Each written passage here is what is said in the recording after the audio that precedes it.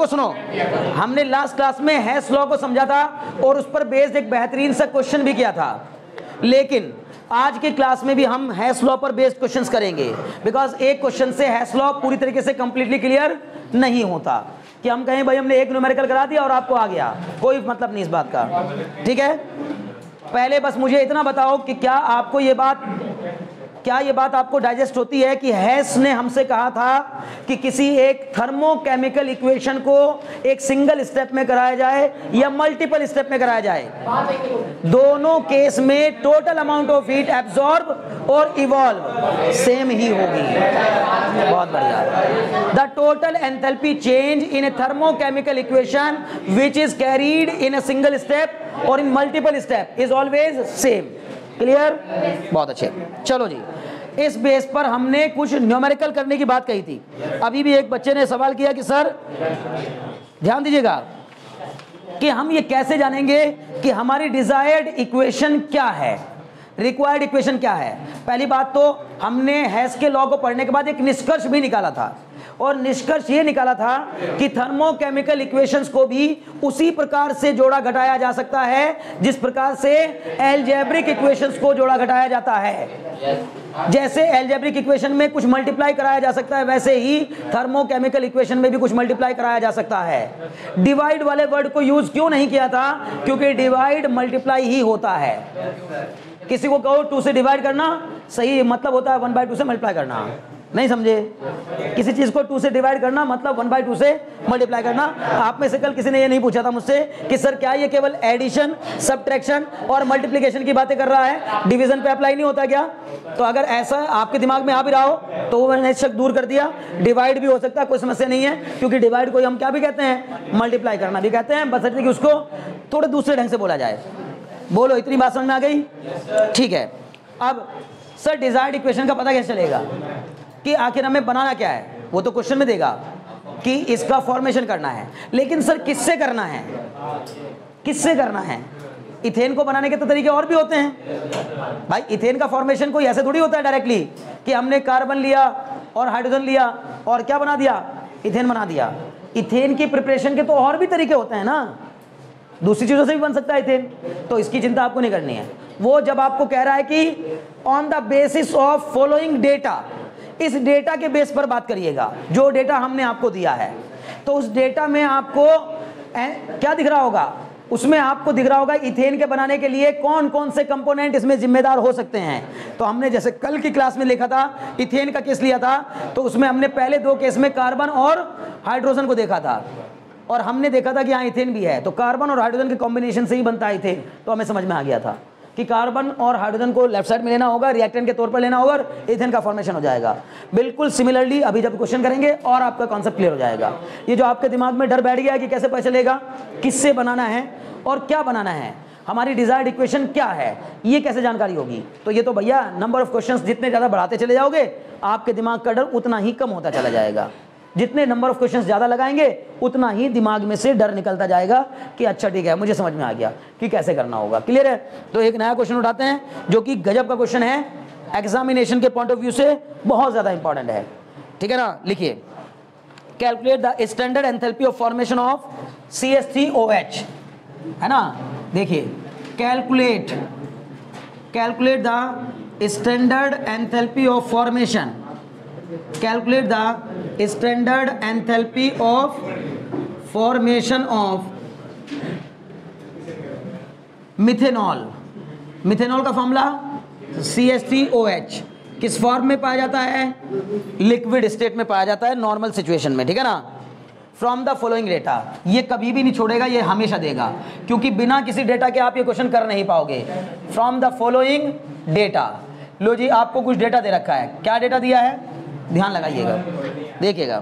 पहला दिया है C S three O H C S three O H plus three by two O two gives out gives out C O two plus two H two O C O two plus two H two O पहले बताओ, और यहाँ लिखा है side में delta R H is equal to minus का seven twenty six minus का seven twenty six kilo joule per mole ठीक है ना?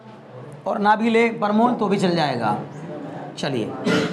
बताओ, पहले तो मुझे देखकर इस रिएक्शन से आपको क्या जानकारी मिल रही है? अगर आप इन सब चीज़ों को इस तरह से नहीं पढ़ेंगे ना, फिर मैं इस तरह नहीं पढ़ाऊँगा। फिर मैं बस उठाऊँगा ऐसे ही पढ़ा दूँगा बस। इससे पता चल रहा है कि वन मोल मिथेनॉल को ऑक्सीजन की प्रेजेंस में कंप्लीटली कंबस्ट करने पर एक मोल कार्बन डाइऑक्साइड दो मोल वाटर और इतनी हीट प्रोड्यूस होती है। ये हीट प्रोड्यूस हो रही है या हीट देनी पड़ रही है? बोलो। प्रोड्यूस हो रही है क्योंकि जब मैं इसको लिखूँगा तो यहाँ पर प्लस में लिखा जाएगा।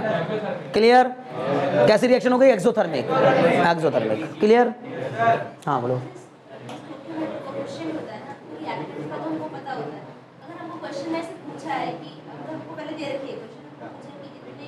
ए और बी से कितना सी फॉर्म होगा तो जो पहले से क्वेश्चन में है वो उसका प्रोडक्ट का वो जितना बन रहा है जो पहले से है वो।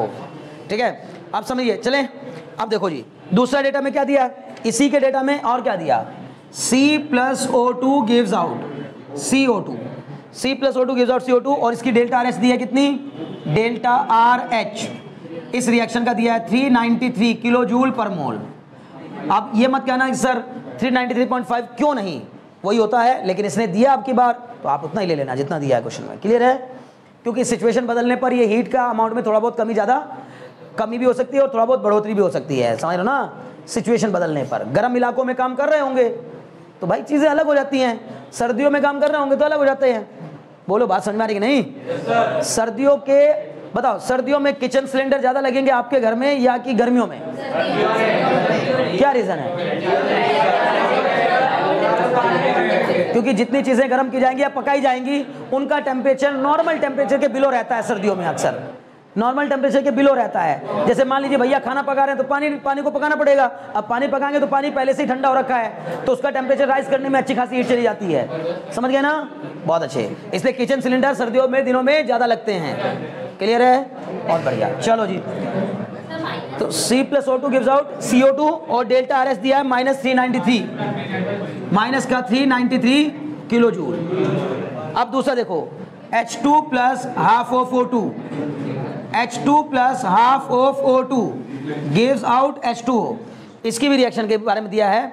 माइनस का 286 डेल्टा आर एच कितना दे रखा है इसका? माइनस का 286 किलो जूल पर मोल। अब एक बात और समझो। ठीक है?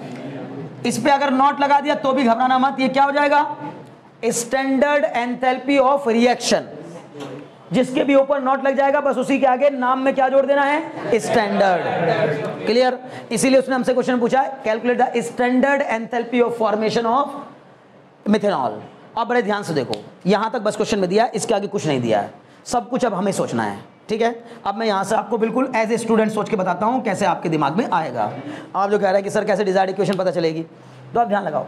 सबसे पहली बात, मुझे बनाना क्या है? किसका फॉर्मेशन करना है? सर मिथेनॉल का फॉर्मेशन करना है। तो मेरी डिजायर्ड इक्वेशन में मिथेनॉल इधर रहेगा। रहेगा? अब सर, मुझे ये बनाना है तो किससे बनाना होगा? सर, ये कार्बन और हाइड्रोजन से बनेगा क्या? नहीं। अब ये भी मत बोलो कार्बन और वाटर नहीं कार्बन हाइड्रोजन और ऑक्सीजन इन तीन चीज़ों से मिलकर ये बनेगा कार्बन हाइड्रोजन और ऑक्सीजन चलो जी, कितने कार्बन है? एक कार्बन तो मुझे एक कार्बन लेना होगा। कितने हाइड्रोजन है? चार हाइड्रोजन है। तो मुझे दो H2 लेना होगा। समझ में आ रही बात? कितने ऑक्सीजन है? एक ऑक्सीजन तो मुझे हाफ़ मोल ऑफ़ O2 लेना होगा और ये फॉर्म हो जाएगा। आई बात समझ में? अगर मुझे कहीं से भी इस तरह का रेशियो में, इस रेशियो में मुझे कार्बन हाइड्रोजन ऑक्सीजन मिल जाए तो इनके कॉम्बिनेशन से यही बनेगा। समझे? अब ये केमिकली रिएक्ट कैसे कर रहे हैं, वो अलग कहानी है। केमिकली रिएक्ट कैसे कर रहे हैं, वो अलग कहानी है। पर थर्मोडाइनमिक्स कह रही है कि इनके कॉम्बिनेशन से ये चीज़ बनी है। अब बात समझ में आ गई? हाँ लेनी कैसे पड़ेगी? मजबूरी है। अब ये नहीं कह सकते, सर, चार एच है तो यहाँ चार एच लिख देंगे। सर, यहाँ एक ओ है तो केवल एक ओ लिख देंगे। नहीं, क्योंकि जब हम इसको रिएक्ट कराते हैं तो ऑक्सीजन हमें ओ टू की फॉर्म में रहता है हमारे पास। जब हम रिएक्ट कराते हैं तो हाइड्रोजन H की फॉर्म में नहीं होता H2 की फॉर्म में पाया जाता है स्टैंडर्ड इक्वेशन में। बोलो बात समझ ना? उसकी स्टेबल स्टेट या स्टैंडर्ड स्टेट कौन सी होती है? मोनोएटमिक नहीं होती। ऑक्सीजन की स्टैंडर्ड स्टेट डाइएटमिक होती है O2 की फॉर्म में पाया जाता है। क्लियर है ना? हाइड्रोजन टू की फॉर्म में पाया जाता है। कार्बन सिंगल एटम की फॉर्म में भी पाया जा सकता है। बिकॉज़ उसका टू नहीं होता। सी टू सी थ्री ऐसे मॉलिक्यूल नहीं देखने को मिलते। अगर इसको मुझे दो लेने भी पड़ेगा तो टू सी लिखूँगा। इसको सी टू नहीं लिखूँगा। Because carbon is not diatomic carbon is monoatomic element clear है? हाँ बोलो। कितने हैं यहाँ? एक ऑक्सीजन कितने हैं? चार। तो दो दूनी चार। समझ गए? बताइए मैंने ये बात। अगर मेरी जगह मेरे गुरु होते ना तो कूटते पकड़ के। मेरी जगह अगर मेरे गुरु होते तो बस मुझे भी यही लग रहा वाकई, में अब यही करना पड़ेगा। क्योंकि मैंने बताई ये बात। आप फिर पूछ रहे हो इसका मतलब है कि आप नहीं ध्यान से सुन रहे थे, ठीक है ना? मैंने बताया बच्चे कि ये कैसे बनाया मैंने। ठीक है, आप समझो। चलो छोड़ो बस। इसको क्या लिखेंगे? डिजायर्ड इक्वेशन ये हो गई एक तरीके से आपकी डिजायर्ड इक्वेशन खत्म। ठीक है? अब सर मुझे ये बच्चे, बस ध्यान लगाओ। मुझे ये लाना है। कैसे भी करके लाना है। और लाना कहाँ से? इसी डेटा से लाना है। इसके अलावा कुछ और यूज़ नहीं करना है। तो भाई, इसके यूज़ करने का मतलब आपको एक सी चाहिए? सुनो ध्यान से। एक सी चाहिए? इसमें एक सी है? हाँ जी, है। तो इसको किसी से मल्टीप्लाई करने की ज़रूरत नहीं क्लियर है? हमें कितने एच चाहिए? दो एच चाहिए। दो एच यहाँ यहाँ कितने एच हैं? एक एच टू है। हमें दो चाहिए तो इस वाली इक्वेशन को दो से मल्टीप्लाई कराएँगे। पहले इन्हीं इक्वेशन को यहाँ पर कल की तरह, या फिर यहाँ लिख लेता हूँ, दोबारा। देखिए कैसे लिखूँगा। एक काम कर लेता हूँ, इसको उल्टा करके लिख लेता हूँ। इस वाली को, कारण क्योंकि मुझे सी एस उधर चाहिए होगा। समझ में आ रहा है? चलो जी, उससे भी पहले मैं एक काम करता हूँ, ऐसे लिखता हूँ। C S three O H plus three by two O two gives out C O two plus two H two O plus seven twenty six clear दूसरी वाली को लिख देता हूँ C plus O two gives out C O two plus seven twenty six तीसरी को लिख देता हूँ H two plus half of O two gives out H two O plus two eighty six अब तुम्हें समझ में नहीं आएगा ये? और तुम मुझे बार बार बोल रहे थे कि भैया इसका दूसरा भाई बता दीजिए हाँ। अच्छा सॉरी बहुत अच्छे। कितना है? थ्री नाइन्टी थ्री ठीक है? ये मैंने पहले एज इट इज़ लिख ली, बस कितना किया? क्या किया? ये माइनस का टर्म प्लस में लिख लिया। बार बार करो, कल थोड़ा जल्दी में बताया था, आज तुम लेकिन नहीं समझ रहे हो कि बहुत बड़ी बेवकूफ़ी है तुम्हारी। सबसे बड़े बेवकूफ़ लोग होते हैं वो, जिनको बस खाली कहना कहना आता है कि भाई हमें बता दीजिए इसको, है ना दोबारा? अभी बताओ ये समझ में आ गया यहाँ तक? अभी मैंने कुछ भी ऐसा नहीं किया जो समझाने लायक हो। बस इतना किया, ये एनर्जी यहाँ से उठा के रिएक्शन के साथ लिख ली। कभी कभी वो क्वेश्चन में रिएक्शन के साथ भी दे सकता है। तब मत कुछ बदलाव करिएगा उसमें। पता लगा उसने पहले से ये वाली रिएक्शन दी है। आपका आधा काम कम कर दिया उसने। क्लियर चलो जी। कहाँ पे बचे? नहीं, ये टू ट्वेंटी एट नहीं होता, ये हमेशा कितना होता है? टू एटी सिक्स होता है। Two eighty six kilo joule per mole नहीं समझे? अगर मैंने ट्वेंटी एट लिखा था तो गलत। हाँ पेपर में अगर ट्वेंटी एट था तो ट्वेंटी एट ही यूज़ करना। समझ गया ना? हालाँकि होता नहीं होता वाटर का इतना ही होता टू एटी सिक्स अभी बताओ, समझ में आ गया? ओके जी। अब मुझे, मैं फिर बार बार कह रहा हूँ, मुझे ये तो यहीं चाहिए। तो एक काम कर लेते हैं, पहली वाली इक्वेशन में बताओ, कोई बदलाव करने की ज़रूरत है क्या? पहली में? नहीं सॉरी इसमें इसमें। मैं इसको पहली बोल रहा हूँ। नहीं। नहीं है ना? ओके मुझे लेफ़्ट साइड में सी चाहिए था तो मैंने पहली वाली को उठाया एज इट इज़ रख लिया। C plus O two gives out C O two plus कितना? थ्री नाइन्टी थ्री कोई डाउट है? नहीं। बहुत बढ़िया। अब आ जाओ जी दूसरी वाली पर। दूसरी वाली में मैंने मुझे H2 नहीं चाहिए था, दो H2 चाहिए। तो टू से मल्टीप्लाई कर लिया। Two H two plus O two gives out two H two plus अब टू से इसमें मल्टीप्लाई कराओ। टू थ्री जैसे five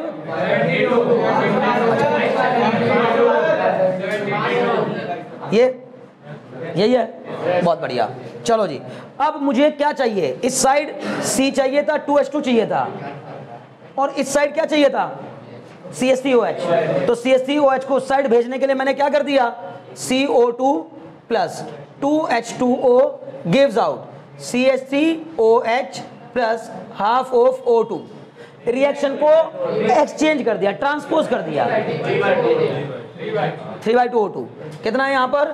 Three by two O two ठीक है? Three by two O two अब प्लस में कितना जाएगा? प्लस नहीं। अब यही चीज़ जो प्लस में थी वो क्या हो जाएगी? माइनस माइनस का कितना? सेवन ट्वेंटी सिक्स इतने में कोई डाउट नहीं बहुत बढ़िया। अब मुझे एक बात बताओ आप। सर हमें अभी तक एक चीज़ नहीं मिली। बोलो क्या? सी मिल गया? हाँ जी मिल गया। टू एस टू मिल गया? हाँ जी मिल गया। हाफ़ ओ टू नहीं मिला। उसकी चिंता मत करो। वो अपने आप आ जाएगा लास्ट में। समझ गए ना? क्योंकि ऑक्सीजन तो वैसे भी कट पिटने के बाद जो बचेगा वो रखना ही पड़ेगा, मजबूरी है, ठीक है? तो आप इसको बस ऐड कर दो, खाली कुछ नहीं करना ऐड कर देना है। ऐड करते ही आपको मिला C plus two H two plus O two plus देखो plus O two plus C O two plus two H two O gives out gives out उधर कितना? C O two plus two H two O plus C H three O H अब plus का three by two O two और plus three ninety three plus five seventy two minus seven twenty six नहीं समझे? Clear हो गया? बहुत अच्छे। बताओ, यहाँ कितना सी टू एक। यहाँ कितना सी ओ टू खत्म। टू एच टू ओ दो ओ टू और ये है three by two O two देखो C plus two H two ये है दो ओ टू और ये है three by two O two मतलब डेढ़ ओ टू दो और डेढ़, उस डेढ़ को जब इधर ले आओगे, दो में से डेढ़ जाकर आधा। One by two O two अपने आप मिल गया। इज़ इक्वल टू क्या बनेगा? C S T O H बस इन तीनों को, इन दोनों को ऐड करो उसको माइनस कर दो। कितना? Two thirty nine very good minus उसने माइनस में दिया बाद में। बहुत बढ़िया, मज़ा आ गया। Two thirty nine is the right answer बिल्कुल सही है। क्या कहने two thirty nine kilo joule per mole kilo joule पर मोल क्यों? क्योंकि उसने हमसे पूछा एंथैल्पी ऑफ़ फॉर्मेशन कितने मोल फॉर्म हुए हैं? एक ही मोल फॉर्म हुआ है। बोलो, कोई डाउट हो तो। पक्का? श्योर हो? ठीक। Two nine two thirty nine kilo joule per mole ये लिख लीजिएगा, बहुत काम का है, लेकिन अलग से लिख के बताना है। उसने हमसे पूछा, हमसे उसने रिएक्शन नहीं पूछी। बस हमसे कहा, इसके फॉर्मेशन की स्टैंडर्ड एंथैल्पी बताई कितनी होगी। तो बोलेंगे, sir delta F H not is equal to minus का 239 किलो जूल पर मोल बोलो, इतने में कोई समस्या हो तो। श्योर हो? बहुत बढ़िया। अगर तुम्हें थोड़ी सी भी समझ आ रही है, थोड़ा सा भी आप इंजॉय कर रहे हैं, समझ पा रहे हैं चीज़ों को तो मेरे को बताओ what is the enthalpy of reaction of this process इस प्रोसेस की एंथैल्पी ऑफ़ रिएक्शन कितनी होगी? एंथैल्पी ऑफ़ रिएक्शन कितनी होगी? अगर रिएक्शन इसी फॉर्म में लिखी है, किसी भी रिएक्शन की एंथैल्पी ऑफ़ रिएक्शन अभी अगर यही मैं रिएक्शन मान रहा हूँ तो इसकी एंथैल्पी ऑफ़ रिएक्शन यही होगी। लेकिन अगर बैलेंस्ड केमिकल इक्वेशन के हिसाब से बात करूँगा तो इसका दो गुना हो जाएगा। नहीं समझे? बहुत अच्छे। अभी को डाउट है? क्योंकि यहाँ भी सुनो मेरी बात ध्यान से। यहाँ भी तो वो बैलेंस करके नहीं लिख रहा है ना? प्रॉपर बैलेंसिंग नहीं कर रहा है। बैलेंस तो है सारी, लेकिन प्रॉपर बैलेंसिंग नहीं है। तो ये सही मायनों में इसको ये भी लिखने का अधिकार नहीं था। ये मूर्खता है। बड़े ध्यान सुनिएगा। लेकिन इस तरह की चीज़ों को ये लोग केमिस्ट्री में इतना चीज़ों को इतनी ज़्यादा डिटेल में जाकर के मैथ्स नहीं पढ़ते ये लोग। ये कहते हैं कि हमने वो बात अपने वहाँ वहाँ कही थी शब्दों में, यहाँ पर उसको अप्लाई नहीं कर रहे हैं। कह रहे हमारा मकसद ये लाना है, ये आ गया ना, बस आ गया। बहुत अच्छा है, सब कुछ बढ़िया बढ़िया। सब चंगा सी समझ गए ना? ये आ जाए तो सब चंगा सी है। समझ गए? लेकिन बात सुनो, सही मानो में इसको यहाँ लिखना चाहिए था क्या? Delta F H naught. नहीं नहीं, गलत। डेल्टा, इसमें क्या लिखना चाहिए delta C H naught. Delta C H naught of C S ये सही मायनों में मिथेनॉल के कंबशन की एंथैल्पी लिखी है। ये एंथैल्पी ऑफ़ रिएक्शन नहीं है। उसकी अपनी रिएक्शन के हिसाब से था कि प्रॉपर बैलेंसिंग करने के बाद जो रिएक्शन बनेगी, उस रिएक्शन की एंथैल्पी को एंथैल्पी ऑफ़ रिएक्शन कहा जाता है। लेकिन अब आप ज़्यादा दिमाग मत लगाइएगा, मैं फिर कह रहा हूँ, आपको एक्सेप्ट कर लेना ऐसे ही, है ना? ज़्यादा अपने आप सर देखिए, वो वहाँ कुछ कह रहा है, यहाँ कुछ और हो रहा है, छोड़ दो। क्वेश्चन करना मकसद है, ठीक है? मतलब कोई भी रिएक्शन आपको दी है, उसकी एंथैल्पी ही एंथेल्पी ऑफ़ रिएक्शन होती है। बोलो गुड आउट हो तुम। समझ में आ गया? एक क्वेश्चन और करेंगे। बहुत इंपॉर्टेंट है। हाँ बच्चे, बोलो।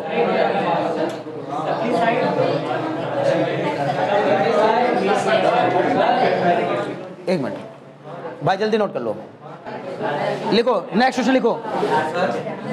है ना the standard enthalpy of the standard enthalpy of formation of लिखो the standard enthalpy of formation of SO2 the standard enthalpy of formation of SO2 and SO3 the standard enthalpy of formation of the standard enthalpy the standard enthalpy of formation of standard enthalpy of formation of SO2 and SO3 SO2 and SO3 are given by are बस direct लिखो बल्कि two minus 296 are minus two ninety six kilo joule per mole minus two ninety six kilo joule per mole and minus three ninety five point six kilo joule and minus three ninety six point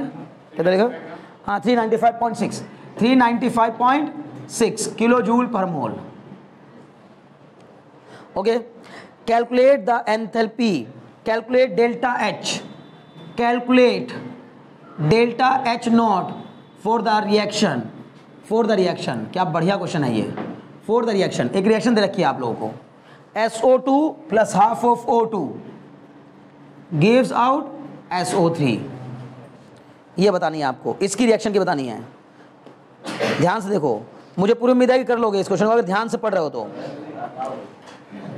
चलो, मैं बता देता हूँ।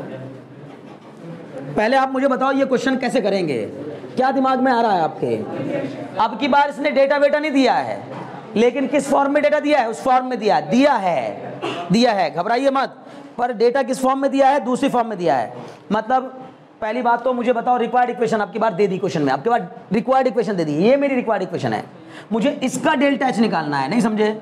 इस reaction का delta H not निकालना है, ये निकालना है। क्लियर क्लियर है?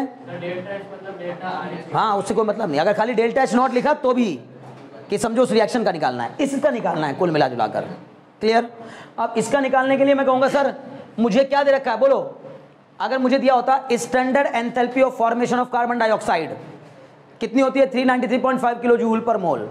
तो आप क्या लिखते हैं उसके बारे में? तो उसको आप केमिकल इक्वेशन की फॉर्म में लिखते हैं। C plus O two gives out C O two plus clear है? वैसे यहाँ पर S plus O two question को देखकर समझ में आ रहा है। एसओ टू की स्टैंडर्ड एंथैल्पी ऑफ़ फॉर्मेशन तो सल्फ़र डाइऑक्साइड बना रहे हैं तो किससे बनी होगी? सल्फ़र के कंबशन से। Sulphur plus oxygen gives out sulphur dioxide SO2 clear है? SO2 बन गया। अब ये माइनस में दी है एनर्जी तो प्लस लिखेंगे यहाँ। कितना? 296 और ये भी माइनस में है भाई। देख लेते हैं एक बार। हाँ वो भी माइनस में 296 किलो जूल पर मोल। चलो नहीं भी लिखता खत्म। हाँ बोलो। ओके दूसरा। अब क्या बनाना है? एक और दी है। किसकी एंथैल्पी ऑफ़ फॉर्मेशन दी है? SO3 की एंथैल्पी ऑफ़ फॉर्मेशन दी है SO3 की। तो SO3 को बनाने के लिए उसकी एलिमेंटल स्टेट से बनाएँगे। तो SO3 में तीन O चाहिए। SO2 में SO2 में एक O, एक O2 चाहिए बस। मतलब दो O चाहिए, यानी एक O2 चाहिए। SO3 में तीन O चाहिए, तीन O मतलब एक O2 और एक हाफ़ O2 तो एक O2 और एक हाफ़ O2 मतलब three by two O two नहीं समझे? बहुत बढ़िया।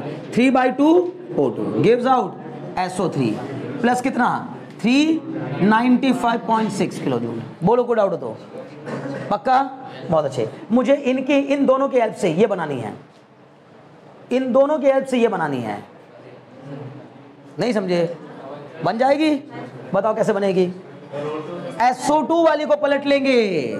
किसी, बहुत को नहीं आएगा, मैं बता रहा हूँ, लिख के दे सकता हूँ। तीसरा क्वेश्चन है, ये एस है। अगर किसी ने एक भी करा दिया हो क्लास में ना, बहुत बड़ी बात मानना उनके। उसका उसका गुणगान गाना स्कूल में अगर एक कराया हो ना किसी ने क्लास में तो कहना, यार, बहुत अच्छा टीचर है। सही बता रहा हूँ मज़ाक नहीं नहीं बताएँगे लोग। हाँ बताओ। ये वाली कैसे बनाई? मुझे क्या कहा उसने? Standard enthalpy formation of sulphur trioxide मतलब SO3 की एंथैल्पी ऑफ़ फॉर्मेशन दे रखी है। एंथैल्पी ऑफ़ फॉर्मेशन का मतलब एक मोल बनाना होगा। तो एक मोल बनाने के लिए सल्फ़र का एक एटम और ऑक्सीजन के तीन एटम चाहिए होंगे। और ऑक्सीजन के तीन एटम एटम की फॉर्म में कभी ऑक्सीजन नहीं पाया जाता। ऑक्सीजन पाया जाता हमेशा O2 की फॉर्म में। समझ गए ना? तो मुझे तीन O अगर चाहिए तो थ्री बाई टू ओ ले लूँगा। नहीं समझे? तीन O का मतलब एक O, एक O2 में दो O आ गए। एक O2 में दो O और एक आधा O2 में एक O आ जाएगा। मिला के कितने हो जाएँगे? तीन O हो जाएँगे। और एक O2 और आधा O2 मिलकर कितना हो जाएगा? थ्री बाई टू O2 समझ गए? वन प्लस हाफ़ मतलब थ्री बाई टू ना? डेढ़। क्लियर हो रहा है निधि? पक्का? बहुत अच्छे। अब लेकिन मुझे जाना कहाँ है? ध्यान सुनो अब। मुझे जाना है सर इधर चाहिए क्या? SO2 और उधर चाहिए क्या? इस वाली रिएक्शन में उधर तो SO3 है। इसकी चिंता नहीं करनी है। लेकिन सर SO2 उधर है तो मुझे मजबूरन इसको इधर लाना पड़ेगा। इसको इधर लाऊँगा तो सर वो उधर माइनस हो जाएगा। तो ये हो जाएगा सर आपका SO2 प्लस ओ नहीं S plus O two S plus O two और माइनस कितना हो जाएगा? 296 क्लियर और ये वाली रिएक्शन को क्या लिख दूँगा, sir? S plus three by two O two gives out SO three plus कितना?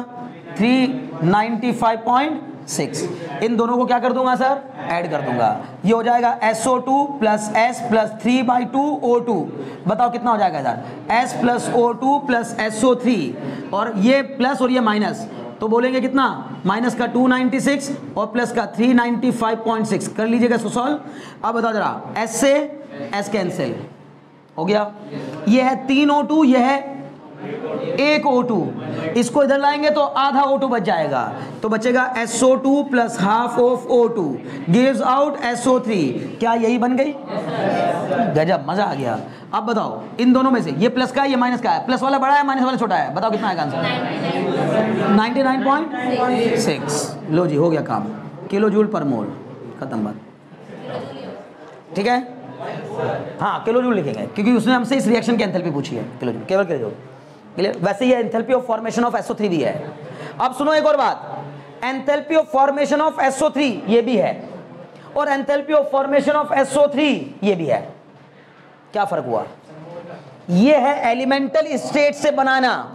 मतलब जिन एलिमेंट से मिलकर बनी है, सिर्फ़ उन एलिमेंट का इस्तेमाल करना, और ये है कंपाउंड का इस्तेमाल करना। तो रिएक्शन के तरीके बदल गए। यहाँ हमने बनाया है सल्फ़र के ऑक्सीडेशन से सल्फ़र ट्राइऑक्साइड यहाँ हमने बनाया सल्फ़र डाइऑक्साइड के ऑक्सीडेशन से सल्फ़र डाइऑक्साइड तो दो अलग रिएक्शन है। पर फॉर्मेशन किसका ही कर रही है? SO3 का। इस रिएक्शन के हिसाब से एंथैल्पी ऑफ़ फॉर्मेशन इतनी है, इस रिएक्शन के हिसाब से एंथैल्पी ऑफ़ फॉर्मेशन इतनी है। बोलो, बात समझ में आ रही कि नहीं आ रही है? दोनों सही, बिल्कुल सही है। प्रोसेस बदल गया ना तो वैल्यू बदल जाएगी। नहीं समझे? जब हाँ, आप देखो हाँ फिर मैं वही कह रहा हूँ। एंथैल्पी ऑफ़ फॉर्मेशन और स्टैंडर्ड एंथैल्पी ऑफ़ फॉर्मेशन में फ़र्क क्या है कि उसकी स्टेबल स्टेट से लेके चलेंगे हम लोग। क्लियर है? बेहतर तो ये है। सही जवाब तो ये है क्योंकि कार्बन डाइऑक्साइड तो हम बहुत रिएक्शन में बना लेते हैं। लेकिन जब तुमसे वो पूछेगा enthalpy of formation of carbon dioxide का एग्जांपल तो सही जवाब आपका होगा C plus O two gives out C O two plus ऐसा। अब नहीं तो कार्बन डाइऑक्साइड तो हर एक हाइड्रोकार्बन के कंबशन से बनता है। नहीं बनता? अभी हमने कितनी रिएक्शन की जिनमें हर बार इधर प्लस सी ओ टू आ रहा था? आ रहा था ना? तो वो तो बनाने को तो हम कई तरीके से बना सकते हैं लेकिन लेंगे हम वही जो हमारे लिए स्टैंडर्ड है। क्लियर है? अभी बताओ कोई डाउट रह गया हो तो? पक्का? बहुत अच्छे। इसमें कोई हाँ टाइम देखा एक बार। हाँ ठीक है। तो एक क्वेश्चन और करेंगे। लिखिए जल्दी से। मुझे लग रहा है कि ये समझ में आ गया होगा अच्छे से? ठीक है तब बढ़ो। है ना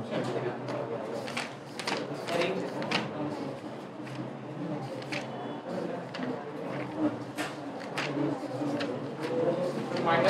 nine point six kilo जो आएगा लिखो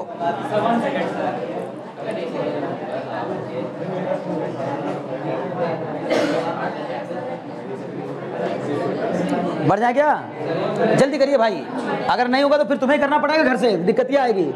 लिखिए एंथैल्पी ऑफ़ कंबशन ऑफ़ कोई बात नहीं, मैं उसको नहीं मिटा रहा हूँ। Enthalpy of combustion of methane enthalpy of combustion of methane comma graphite and hydrogen enthalpy of combustion of है ना? Enthalpy of combustion of methane methane मतलब C H four enthalpy of combustion of methane comma graphite graphite मतलब C very good carbon को ही graphite कहते हैं. Carbon को diamond भी कहते हैं. Okay okay ji. Enthalpy of combustion of methane comma graphite and hydrogen dihydrogen and dihydrogen dihydrogen मतलब H two are dihydrogen are minus eight ninety point, minus का eight ninety point three kilo joule per mole kilo joule per mole, comma, minus three ninety three point, three ninety three point five kilo joule per mole, minus का, and and, minus का 285.8 kilo joule minus का 285.8 kilo joule पर mole, नहीं समझे? इतना तो question में दिया है। ओके जी? अब क्या कहा है? रेस्पेक्टिवली है ये सब respectively calculate the enthalpy of formation of methane calculate the enthalpy of formation of methane नहीं समझे? क्या पूछ रहा है? Calculate the enthalpy of formation of methane enthalpy of formation of methane तो अभी हमें मिथेन किससे बनानी होगी? वैसे तो मिथेन के बनाने के बहुत से तरीके होते हैं, लेकिन हमें अभी उसके एलिमेंट से बनानी होगी, तभी एंथैल्पी ऑफ़ फॉर्मेशन बन जाएगी। Enthalpy of formation of methane ये पूछा है। बोलो, बात समझ में आ गई क्या? क्वेश्चन समझ में आ गया? ये ऐसा क्वेश्चन अगर पेपर में आया ना, सुनो, पहले दो क्वेश्चन जो मैंने कराए, उस जैसा अगर क्वेश्चन आया तो आसान पड़ेगा। ये क्वेश्चन आया तो इसमें खुद ही हमें इक्वेशन भी बनानी है। समझना? उसमें तो क्या कर रखा था? तीन तीन इक्वेशन दे रखी थी, हमें मिल जाता था मौका कि अच्छा हाँ इससे बन जाएगा। लेकिन यहाँ खुद ही बनानी पड़ेगी इक्वेशन भी हाँ थोड़ा सा दिक्कत लगेगी, लेकिन कोई बात नहीं। जब मैंने समझा दिया तो अब डरो मत। हो जाएगा। है ना? बार बार करो, यार, बस सीखने की इच्छा होनी चाहिए। तुम लोग किसी किसी दिन मेरे सर में बहुत दर्द करके भेजते हो। ऐसा लगता है कि मैं कुछ गलती कर रहा हूँ। आप लोगों के साथ ज़्यादा मेहनत करके, ठीक है ना? मज़ाक नहीं। किसी किसी दिन ये एहसास होता है मुझे कि ये इतनी मेहनत बेकार हो रही है मेरी। किसी काम की नहीं। लेकिन कोई बात नहीं मेरा अपना काम करना है, तुम अपना काम कर रहे हो, करो। गधो, गधे तो गधे जैसा ही काम करेंगे ना। उनसे उम्मीद करो कि भाई वो बेचारे इंसानों जैसा काम करें तो कैसे करेंगे? नहीं हो सकता। खैर, अब सॉल्यूशन की बात करते हैं। देखिए क्या कह रहा है। सबसे पहले लिखो enthalpy of combustion of methane कैसे लिखो? बोलो। C H four plus O two gives out C O two plus H two plus कितना? बोलो कितना? ये रहा। 890.3 किलो जूल पर मोल। बोलो को डाउट होता क्लियर लेकिन लेकिन बैलेंस करना पड़ेगा। चलो बैलेंस करवाओ। जल्दी से, जितनी जल्दी हो सके। यहाँ करते हैं टू ओ टू और यहाँ पर? बस। हाँ चलो जी। ये टू ओ टू तो मतलब कितना हो जाएगा? अगर मैंने यहाँ पर कर दिया टू टू चार हो जाएँगे, दो दो, चार। हाँ ठीक है, बहुत बढ़िया। तो यहाँ टू कर दिया। अब बताओ बैलेंस है क्या? तो ध्यान रखना, लेकिन एक बार गलती ना करना। अभी तो ठीक है। अभी तो मज़ा आ गया। ये बड़े आराम से हो गई बैलेंस अगर गलती से भी मतलब ज़रूरत पड़ गई कि इसके बैलेंसिंग के चक्कर में आपने यहाँ कार्बन को ज़्यादा कर दिया तो उसकी वजह से यहाँ इसको ज़्यादा मत कर देना। बोलो क्यों? इसको फिक्स रखना है। कारण? क्योंकि एंथैल्पी ऑफ़ कंबशन का मतलब एक मोल के कंबशन से जितनी एनर्जी प्रोड्यूस होती है, उसको कहा जाता है। मतलब इसको ज़रूरी है कि वन रखना है। कहीं जल्दीबाजी में बैलेंस के करने के चक्कर में इसको बढ़ाना कर देना। नहीं समझे? कि मतलब एकदम से मरने का बैलेंस करते हैं। बैलेंस करते हैं मतलब इसको ज़्यादा ले लेते हैं। भाई, ज़्यादा नहीं ले लेना इसको। अरे क्लियर हो रहा है कि नहीं? चलो, दूसरी वाली इक्वेशन बनवाओ। Enthalpy of combustion of graphite वो तो सबको पता है यार, ये लीजिए। 393.5 किलो जूल, आँख बंद करके लिख दो। बोलो, बात समझ में आए कि नहीं? ठीक है? हाँ बोलेंगे, सर, आँख बंद करके ऐसे लिखेंगे। लिख सकते हैं भाई। H two plus half of O two gives out H two plus कितना? 285.8 किलो जूल। बोलो, कोई डाउट हो तो। अगर तुम में से कोई मुझे बता दे, मेरी रिक्वायर्ड इक्वेशन क्या है? बस अब यहाँ से आप मुझे रिक्वायर्ड इक्वेशन बताएँगे। रिक्वायर्ड इक्वेशन है ना? ये देखो, ये, एक लड़का बैठा है यहाँ पर, अभय नाम का, और एक लड़का बैठा है यहाँ दिव्यांशु नाम का। क्या ये बता पाएँगे कि रिक्वायर्ड इक्वेशन क्या है? नहीं, कोई बात नहीं, सो जाओ बेटा, आराम करो। हाँ वेरी गुड तुम दिव्यांशु नहीं हो, उसको कह लेने दो? उसको थोड़ा एहसास करने दो पहले। अगर तुम बता दोगे तो मज़ा कहाँ से आएगा फिर? उसको थोड़ा एहसास तो करने दो। होता ही नहीं लेकिन, sir. C plus two S two क्या लिखना होगा? ये होगी मेरी रिक्वायर्ड इक्वेशन क्या बनाना है? मिथेन बनाना है। तो किसके हेल्प से बनाना होगा? कार्बन और हाइड्रोजन के हेल्प से। तो मुझे लेना पड़ेगा कार्बन का एक, हाइड्रोजन के चार। एटम चाहिए, चार एटम लेकिन हाइड्रोजन एटम एक फॉर्म में नहीं पाया जाता एच टू की फॉर्म में पाया जाता है। तो दो मॉलिक्यूल लेने होंगे। बोलो, बात समझ कि नहीं? बहुत बढ़िया। जो समझ रहे ना, वो समझ रहे हैं में। उनको समझ में आ रहा होगा। वो अंदर ही अंदर फील कर रहे होंगे, यार, बढ़िया, मज़ा आ रहा है एकदम। C plus two H two और मैं तुम्हें लिख के दे सकता हूँ, मज़ाक नहीं। अगर किसी पे भी आपको ना अगर आपको अपने अपने एरिया के या अपने स्कूल के, अपने आसपास के किसी भी बच्चे पर थोड़ा सा, अपना हल्का फुल्का सा वो दिखाना है कहानी कि हाँ मुझे थोड़ा सा, सर, थोड़ा सा रोप झाड़ना है। झाड़िया नहीं, हालाँकि गलत बात है, लेकिन फिर भी कह रहा हूँ, अगर झाड़ना हो तो मज़ाक नहीं कर रहा हूँ। उससे हैस लॉ, पहली बात तो थर्मोडाइनमिक्स के क्वेश्चंस पे बात कर लेना। तो तुम्हें अंदर से फील आएगा यार, इसका मतलब तो मैं बहुत बढ़िया हूँ। दूसरी बात, अगर थर्मोडाइनमिक्स में उसने कुछ तुम्हें जवाब दे भी दे, दो चार। बोलना, चलो हैसलो पे बात करते हैं। समझ गए ना? तो मजबूरी। नहीं फैसलो सब पढ़ेंगे, पर इसके क्वेश्चंस का मसला फंस जाएगा। हैसलो तो सबको बताएगा पेपर में। हर टीचर बताएगा आपको क्या आएगा पेपर में लिख के जाना इसको। और वो डायग्राम भी बढ़िया से बनाना पार्ट वन पार्ट टू वाला। उसी पर नंबर मिलेंगे। पर ये ज़्यादा ज़रूरी है। बार बार कह रहा हूँ, नंबर तो मिल ही जाएँगे। ठीक? C plus two S two gives out C H four कल के बाद कई सारे सवाल लेके चले गए थे ना आप लोग? तो मैंने कहा था, अभी भाई, अभी इसके भाई कोई, कई सारे बचे हुए हैं। तो देखो कितने भाई हो गए आज तीसरा भाई चल रहा है अभी ठीक है? तो C plus two S two gives out C H four दूसरी बताओ, अब कैसे करें? ये तो मेरी होगी रिक्वायर्ड तो सर मेरे को ना सी में तो सी चाहिए केवल। और यहाँ दो। अरे खत्म। दो से मल्टीप्लाई करके ऐड कर दो। खत्म करो। इन दो, इसको दो से मल्टीप्लाई करो इस वाली को रिवर्स करो ऐड कर दो सबको खत्म। नहीं समझे? नहीं आए बताओ मुझे। देख सुनो सुनो। बच्चे मुझे क्या चाहिए? सुनो ध्यान से। मुझे चाहिए सी तो वो इस वाली इक्वेशन से मिल जाएगा। ठीक है? तो इसमें कुछ करने की ज़रूरत नहीं इसको ऐसे रहने दो क्योंकि एक ही सी चाहिए था एक सी है मेरे पास। क्लियर कितने चाहिए मुझे? दो एच टू यहाँ एक है। तो पूरी इक्वेशन को टू से मल्टीप्लाई कर दिया? इन दोनों को जोड़ोगी तो ये आ जाएगा। लेकिन मुझे उधर क्या चाहिए? सी एच फोर तो इस वाली रिएक्शन को उधर रिवर्स कर दो। रिवर्स कर दो। सी एच फोर चला जाएगा उधर और ये हो जाएगा माइनस में। हो जाएगा? इन दो, फिर जो तीसरी बनेगी, इसकी हेल्प से। तीनों को ऐड कर देना आंसर आ जाएगा। नहीं समझे? ऐसे तो कराए से पहले भी क्वेश्चंस अब तो कर लोगे? आयुष श्योर बहुत अच्छे तो मुझे लगता है आज के लिए इतना काफ़ी है। अगले क्लास में हम लोग इसका अच्छा आंसर आ गया क्या? अगर आंसर आ गया तो मज़ा आ जाएगा। 74.8 दिया इसने आंसर यार।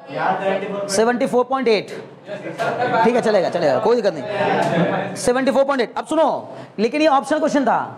चार ऑप्शन दिए थे पहला minus seventy four point eight, दूसरा plus seventy four point eight, तीसरा minus fifty two point seven चौथा fifty two point two six गलत।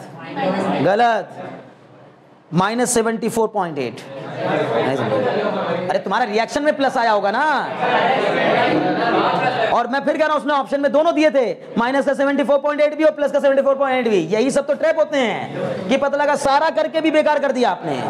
क्या लिखोगे? माइनस सेवेंटी फोर पॉइंट क्योंकि अलग लिखना है उसको अब। उसने हमसे पूछा एंथैल्पी ऑफ़ फॉर्मेशन रिएक्शन के साथ लिखेंगे तो प्लस में लिखेंगे, लेकिन अलग से जब लिखेंगे उसका आंसर माइनस में लिखेंगे। समझ गए ना? बहुत अच्छे। चलिए, आज के लिए इतना काफ़ी है। नेक्स्ट क्लास में मिलते हैं फिर से। इतने ही जोश और जुनून के साथ। तब तक के लिए इंजॉय करते रहिए, पढ़ाई करते रहिए, ठीक है ना? Very very thanks for watching